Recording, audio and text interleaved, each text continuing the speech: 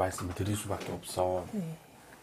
근데 우리 엄마의 사주를 놓고 봤을 때 엄마도 어떻게 보면은 참 사주팔자가 높다 그래요. 어떻게 보면은 편안하게 지내지 못하고 고생 수도 같이 따르고 네. 또 웃긴 게 지금 애들 아빠랑 같이 살아요. 아니요. 그죠? 네. 참 사기 결혼 당했다 그래. 미안해 오늘 아들이 앞에 있지만 네. 내가 할 말은 해야 돼요. 네. 왜냐하면 참 이 사람이 이럴 줄 몰랐다 그래. 어떻게 보면 사기 결혼이나 다름없어. 흔히 말해 새끼 낳고 나니까 이렇게 변할 수도 없고 저렇게 변할 수도 없고. 근데 중요한 거는 우리 이씨 엄마가 원래대로라면 점지된 자손이 둘, 셋까지도 있어요. 네. 근데 이상하게도 엄마도 사주팔자가 높고 또 예전에 일이 있었다 그래요. 그러다 보니 어쩔 수 없이 엄마도 내가 가슴에 묻어야 되는 자손도 있을 수가 있고. 근데 우리 아들이요. 지금 형제자매 없어요? 예. 외동이죠. 네. 그러니까 좀 문제예요. 왜냐하면 네. 우리 김, 아, 우리 자손이, 김씨 자손이 22, 23부터 안 풀려. 공감돼요? 이상하게도 내가 22, 23 한창 꿈만할 나이에요. 흔히 말해 한창 내가 뭔가를 도전하고 시작을 해야 되는 나이인데 그러지 못하고 자꾸만 꼬꾸라지고 꼬꾸라지고 꼬꾸라지고 흔히 말해서 뭔가 모르게 내가 시작을 해서 걸어가려고 해도 본인의 의지와는 상관없이 자꾸만 용두삼이 되는 꼴이라 그래. 머리는 참 좋아요. 근데 이상하게도 자꾸만 용두삼이 되고 이상하게 내 나의 자의가 아니라 자꾸만 타의에 의해서 꼬꾸라지는 것도 참 많다 그래. 근데 우리 자손내비가 어머니 왜 이상하게 나는 나오는 말이 그래요. 마음의 아픔이 좀 많다 그래요. 마음의 상처가 많다 그래요. 제가요. 자손이 아들이? 네. 엄마도 물론 마찬가지고 아까도 그랬잖아 엄마한테도요. 근데 그럴 수밖에 없는 게 아들내미한테 내가 좀 하나만 물어볼게요. 사람 때문에 고생 안 했어요? 뭐 주위의 친구라든가 친구 때문은 없고 직장 같은 데서는 사람 때문에 많이 심적으로 뭐 힘든 것도 있고 그래요. 그죠? 네. 그죠? 그럴 수밖에 없는 게 우리 아들내미가 어머니 너무 착해요. 네. 예스맨이야. 네. 그러다 보니 자기도 감당이 안 될 만큼 사람들이 조금 아들을 많이 이용을 해 먹어요. 네. 근데. 아들은 또 천둥 벌거숭이라 그러면 또 친해졌구나 친하구나 생각해서 간이고 음. 쓰레기고 다 내준단 말이야. 맞아요. 근데 그건 엄마도 마찬가지. 네. 엄마도 특유의 오지랖이 있다 보니 자꾸만 내가 내 주머니 세는 거 모르고 사람들한테 오지랖 부리기 바쁘다 그래요. 근데 내가 어머니 하나만 좀 물어볼게요. 나는 자꾸만 엄마는 이씨 집안을 보면 염주가 보이거든요. 이런 염주. 없었는데. 아니요, 있었어요. 제가 하는 한은 없었어요. 예전에는 쉬쉬하지, 어머니 나이 때에는. 혹시나 몰라서 제가 저희 엄마한테도 여쭤봤거든요. 근데 없다고 그러시더라고요. 있어요. 이씨 집안으로. 그리고 또 하나, 이쪽 김씨 집안도 있어요.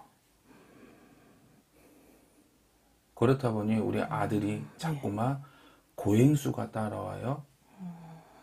그리고 자꾸만 아들의 사주를 놓고 보면 백호살이 있어요. 그게 뭐냐? 네. 범한테 물려서 네. 정말 어디를 가서 비명 행사할 수 있는 그런 안 좋은 살이 백호살이에요. 그만큼 아들내미가 수가 사나워요. 그만큼 아들내미가 22, 23부터 해서 자꾸만 하향 곡선이에요. 하락 곡선이에요. 근데 그럴 수밖에 없는 게 이 아들내미의 본부리, 김씨부리가 네. 자꾸만 원래는 이 집이 왕년에 잘 나갔었네. 물론 예전에 금송아지 없던 집이 어딨어. 근데 그게 아직까지도 그 조상들이 똑같이 치고 들어와요. 나 대우해줘. 나 잘났어.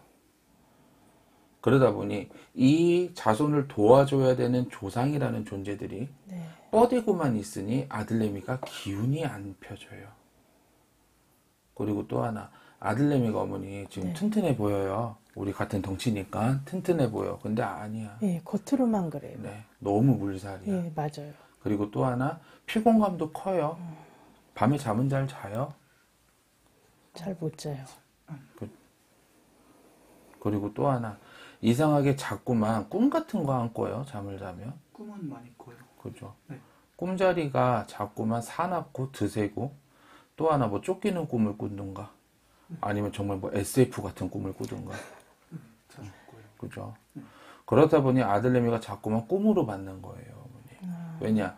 아들이에요. 근데 사주는 여자 사주예요. 그렇다 보니 본인이 예민해요. 과민해요. 그러다 보니까 자꾸만 이 조상의 지기를 받는 형국이고 어머니 내에 있는 이 대주님 내에 있는 신의 가물러울이 자꾸만 아들한테 넘실거려요.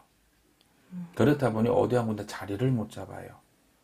그렇다 보니 배운 것은 비상하나 그거를 써먹지를 못해요. 자꾸만 뭐 흔히 말해서 내가 대기업 가야 되는데 중소기업 가고 중소기업 가야 되는 사람인데 자꾸만 어디 저기 하청업체 가고 앉아 있고 공부를 해서 나라녹을 먹어야 될 사람이 고시원에서 사무장 하고 있는 꼴이에요. 직장을 그만큼. 오래 못 다니더라고요. 아까 전에 본인의 자의가 아니야. 본인이야 거기서 정년까지 하고 싶지. 근데 자꾸만 주위에서 고락수를 준다니까. 안 그래요? 맞아요. 괜히 이지미하고 맞아요. 괜히 구설불고. 네. 근데 그럴 수밖에 없어요. 아까 말씀드렸다시피 이 조상이라는 존재들이 자꾸만 우리 아들을 너무 오늘은 다 상담이 똑같네. 아까 전 아주머니도 그러시더니 자꾸만 아들내미 앞길을 막는 꼴이에요. 이거는 어머니 제가 됐든 어디가 됐든 가서 좀 아들을 풀어주세요. 그래야지 아들이 살아요. 왜냐? 아들내미가 그렇다 보니 자꾸만 사람이 질려가요. 안 그래요? 사람이 질려가고 그러다 보니 내 옆에 사람이 있기보다는 차라리 내가 혼자 고독을 씹는 게 낫겠다 이렇게 생각을 할 수도 있어요. 아 그냥 마음 맞는 친구 몇만 있으면 되지. 뭐 하면 되지. 근데 그러기에는 아들이 계속 사회생활을 하면서 사람이랑 맞부딪혀야 되는데 오히려 지금은 직장 가는 거 좋기도 하겠죠. 근데 다만 심적으로 부담이 스려요. 아, 요번에 가서는 씨, 또 어떤 사람이 있을까? 아, 요번에 가서는 또 내가 어떻게 행동해야 되지? 내가 잘못한 게 뭘까? 뭘까? 뭘까? 뭘까? 그러다 보니 자꾸만 아들이 스스로가 스스로를 옥죄어요. 스스로가 스스로를 자꾸만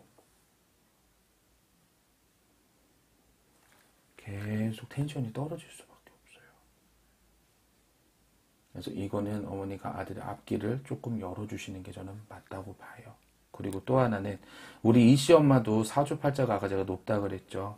그러다 보니 내가 아직까지도 일선에 있어야 되는 분이세요.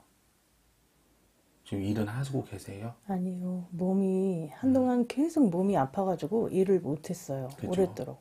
그러니까 일선에 계속 계셔야 되는 분이세요. 사주팔자가. 근데 어머니도 이게 고질병이라면 고질병이겠지만 어머니가 딱히 뭔가 병명이 없을 텐데. 네. 병명이 안 나와요. 그죠? 네. 근데 자꾸만 어머니가 주저앉잖아. 네. 아들이랑 똑같아요. 자꾸만 어머니는 이 씨 조상이 아니라 이쪽 시댁 쪽 김 씨 조상이 자꾸만 눌러요. 그래서 이 김 씨 조상을 차라리 저는 그냥 다 내보냈으면 좋겠어요. 어떻게 해요? 아까 말씀드렸듯 풀이라는 아, 방법을 어. 통해서 이 김씨 집안 조상들을 싹 다 아 이제 오지 마쇼 만드시는 게 저는 가장 좋은 선택이 되실 것 같아요.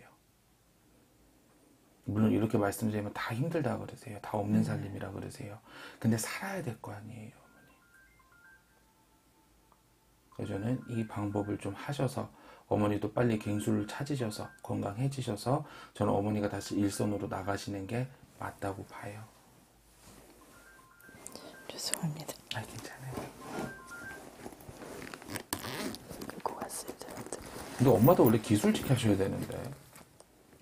원래 엄마 뭐 했어요? 그냥 일반 사무. 그냥 사무 경리 같은 거 보셨어요? 근데 엄마도 기술직 하면 참 잘하셨을 것 같은데. 디자인. 건조가 있으셔서. 디자인 조금 하다가.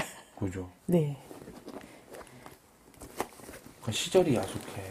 차라리 그걸 꾸준히 했으면은 네. 훨씬 나았을 건데. 엄마도 어쩔 수 없이 삶이 급하다 보니까 그걸로 빠지신 거잖아. 어떡하겠어요. 지나온 세월이야. 앞으로 잘 살아야죠.